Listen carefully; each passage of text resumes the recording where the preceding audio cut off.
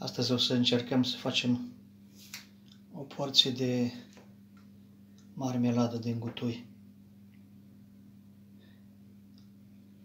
Să mă apuc să curăț gutuile. Văd că sunt de astea bio, văd.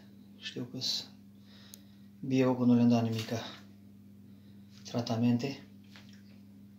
Să mă apuc să le curăț, cred că au și ceva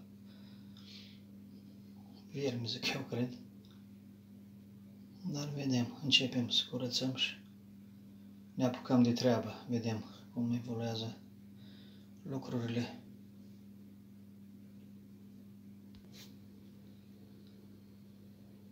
Am curățat gutuile, am circa 2 kg de masă.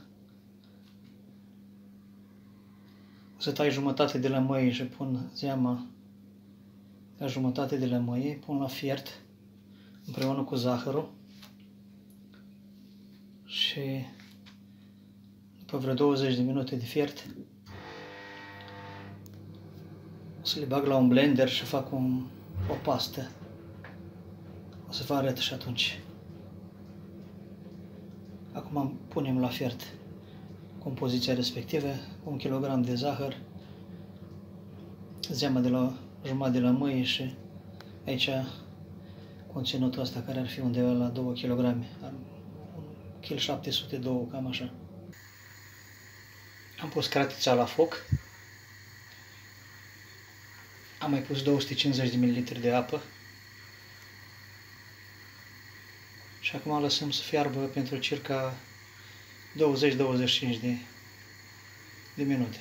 Apoi aflăm dacă se poate da la blender facem ca un fel de piure, care după aceea îl punem din nou la fiert. Poate vă întrebați la început că era un pic oxidat conținutul, compoziția. Iată că acum, după câteva minute, chiar înainte să fiarbă, a căpătat culoare, un galben auriu frumos și vedem până la final ce se va mai întâmpla compoziția a fiert. Acum lăsăm să se răcească puțin și dăm totul la blender. Mixăm până facem un piure.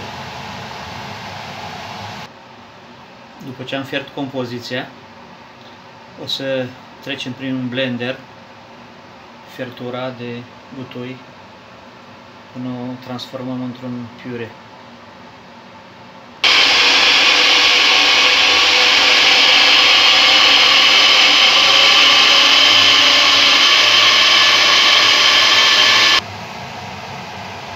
Trecut totul prin blender și acum fierbem din nou până aducem compoziția la o consistență mai ridicată. Adică până se mai deshidratează puțin. Apoi o punem în forme și vedem într-un final ce iese. Da, problema e că trebuie să învârtiți foarte des. Iată că se comportă ca un vulcan la foc foarte mic are tendința să se prindă de fundul oalei. Așa că învârtiți cu, cu responsabilitate. Eu o să pun parțial, o să pun în și niște borcăriele și într-o formă ca să vedem produsul final. Pentru că rețeta e cam aceeași ca și la gem, numai că aici se pasează cu compoziția și идеалната структура. Не ведем.